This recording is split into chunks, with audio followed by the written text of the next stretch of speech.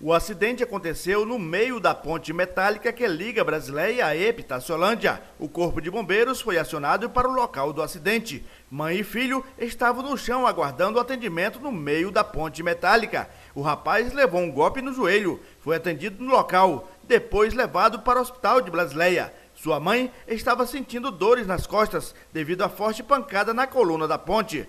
Na hora do acidente, estava chovendo muito. Aí a moto derrapou, causando o um acidente no meio da ponte metálica que liga os dois municípios. Toda vez que chove, essa ponte fica escorregadia, colocando em risco a vida dos condutores que trafegam pelo local. Do município de Brasileia, Almi Andrade, para o Gazeta Alerta.